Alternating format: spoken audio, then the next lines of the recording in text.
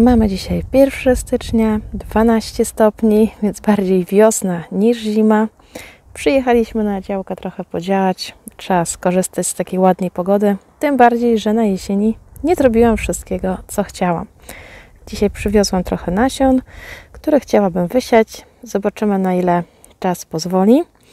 E, wczoraj byłam na działce i wsadziłam już czosnek, ozimy harnaś. No też jesienią zabrakło oczywiście czasu i mocy przerobowych. No i pokażę Wam mniej więcej, co tu mam z nasion i sobie po trochu wysieję. Zobaczymy, jak ten siew ozimy się będzie sprawdzał. Tu mam pietruszkę korzeniową, jeszcze zeszłoroczne nasiona. E, tutaj marchewka, to jest Kamila F1. Amsterdam. Kilka rodzajów kopru. I e, zobaczę, ten wysieję na taki wczesny zbiór, zanim jeszcze mszyca go dopadnie. E, kupiłam też sobie nasiona czosnku niedźwiedziego. Go nigdy nie miałam w ogródku. Tu kolejne pietruszki, które dostałam i porządku sobie wysieję, a później jeszcze dziś luty, marzec dosieję kolejne. Marchewki. Tą jedną dostałam otoczkowaną, nie było zwykłych. No i szpinak jeszcze do wsiania. Tu jeszcze troszkę czosnku. Nie wiem, ile tego czosnku wysieję. Chyba go w ogóle na obrzeżach gdzieś wysieję. No i kwiaty, które chciałabym sobie spróbować na bocznych rabatach wysieć. Te, które teoretycznie miałyby się też wysieć same z kwiatostanów i mogłyby być w zimę e, w gruncie. Czyli mam jeszcze lawendę, a raczej z jednej paczuszki sobie tu wysieję. E, nagietek e, to jest końcówka nasion zeszłego roku, swoich mam też już zebrane dużo. Tu mamy naparsnicę. Chyba tak. Ogórecznik. Ogórecznik mi się sam wysiał na jesieni. Ja go nawet popikowałam. Ciekawa jestem, czy on przetrwa. No i mam jeszcze melisę. Ponoć właśnie melisę i szałwię można. O, biedroneczka. Także tak jest ciepło. Jak już w ogóle pokażę Wam, może przejdę się dzisiaj jeszcze po ogrodzie, to nagram drugi filmik, jak wygląda teraz w grudniu. Także takie plany, co uda się dzisiaj wysiać, zobaczymy. E, no i to na tyle. Zaraz Wam może pokażę, jak sobie będę przygotować grządki. A teraz pójdźmy na kompost. Po przymrozkach i po takiej wstępnej zimie, chociaż trudno powiedzieć, żeby u nas na Mazurach była w tym roku zima, e, wracam do mojego kompostownika. No i tutaj troszkę się pozmieniało, bo tamte dwa pierwsze, dwie pierwsze komory e, były zapełnione tak na full skórką. One jak widać się przerobiły, opadły. Tutaj było chyba pół skrzyni. Tutaj też była prawie że pełna. To zapełnialiśmy w zimę, dorzucając na bieżąco jakieś odpadki bio. To jeszcze jakiś worek z liśćmi nam został przywieziony e, z drugiej działki. No i przygotowane stare sito staczką i będę zaraz przesiewać kompost bo chciałabym dzisiaj wysiać trochę nasion na tak zwany siew zimowy.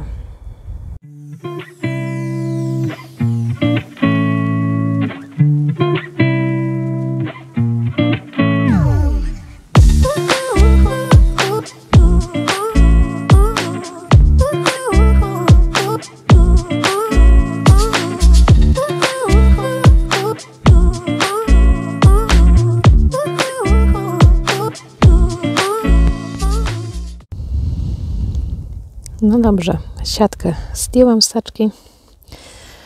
Tu sobie przełożyłam do wiaderka kompost. Tak w tej chwili on wygląda. Mam takie pół sporego wiaderka. Ja mi posłuży na zasypywanie nasion, bo bezpośrednio na grządkę wyjmę sobie taki kompost, e, który jeszcze do końca nie jest przerobiony. No, tak jak taki jeszcze z granulkami różnymi, kawałkami drewna, jakieś tam jeszcze skorupki jajek są na przykład. I załaduję sobie teraz dwie taczki i je wyłożę na jedną grządkę.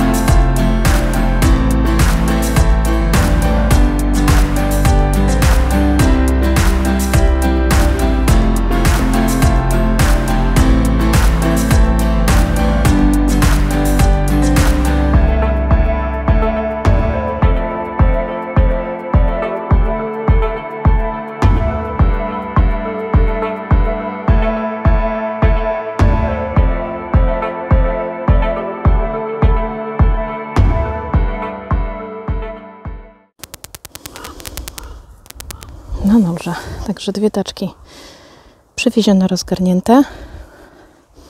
Tak jak Wam pokazywałam, nie jest taki przekompostowany do końca ten kompostownik. Zresztą taki właśnie wykładałam tutaj, gdzie mam te cebule. I one sobie tutaj fajnie rosną. Gdzieś nawet skorupki jajek jeszcze leżą, będą się rozkładać.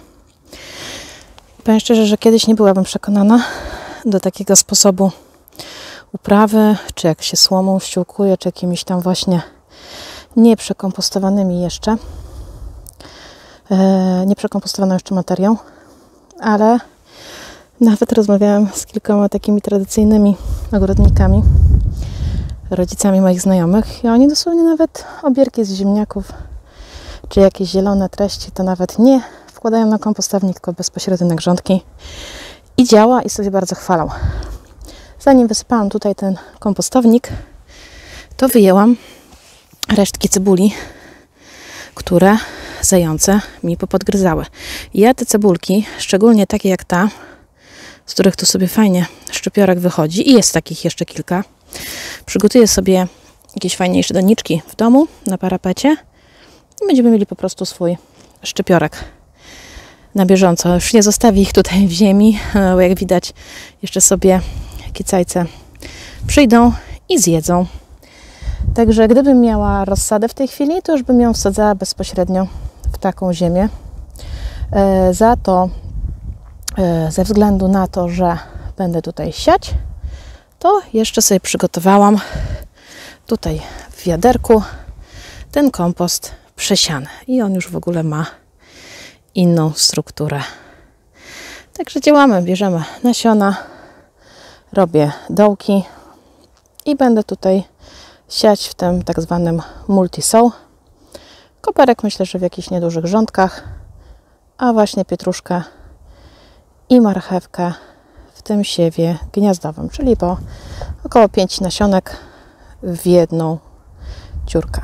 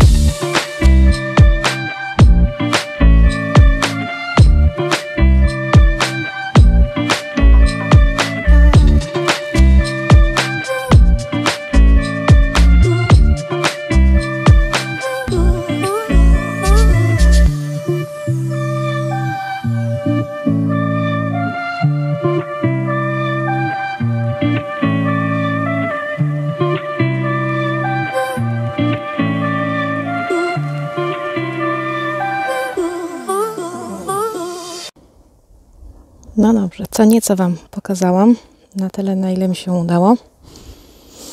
Hmm, sieję sobie w takich rozstawach 3 na 3 4 na 4 i potem sobie takie plakietki tutaj e, wkładam. Na przykład marchewka Mila F1 jest płycej posiana 1 stycznia 4 na 4 4 na 4 Ja mam tutaj grządki metrowej szerokości E, jest taka, taki system e, sadzenia warzyw i roślin w kwadratach 50 na 50 i ja to robiłam według e, standardów w zeszłym roku.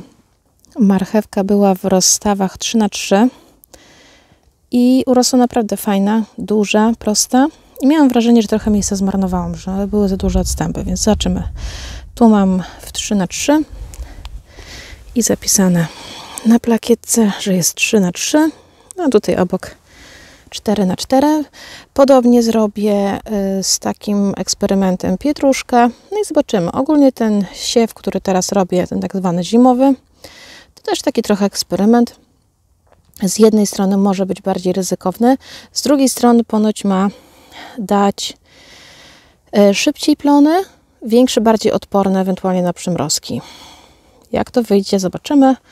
E, normalnie to najpierw bym siała pewnie tak jak w zeszłym roku razem z marchewką czy pietruszką jeszcze rzodkiewkę, ona by sobie pierwsza wschodziła, a tutaj będzie w tym przypadku odwrotnie, czyli być może, że pierwsza wzejdzie marchewka i wtedy ja już tutaj wejdę z rzodkiewką. E, mam tylko jeden taki pikownik, który zresztą tutaj widzieliście. No i on, żeby tutaj troszeczkę ten otwór był w miarę szeroki, to robi mi dosyć głębokie trawki.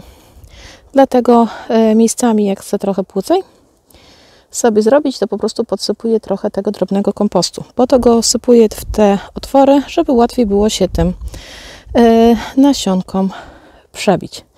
Przez to, co mamy w tej chwili, czyli taki jeszcze nie do końca przerobiony kompost. No i to by było na tyle. Żegnam się z Wami dzisiaj tym ciekawym eksperymentem. Zobaczymy, co mi z tego wyjdzie. Miał być w sumie koniec, ale stwierdziłam, że jeszcze Wam pokażę, jak to już na koniec wygląda. Wiem, że pewnie dla części z Was, którzy już od lat uprawiają swoje ogródki, to jest taka trochę śmieszna zabawa, żeby robić dziurki i zasypywać je przesianym kompostem. No ale u mnie, co prawda, komór kompostownikowych mam na ten moment przygotowanych 5, ale kompost jeszcze jest na wagę złota.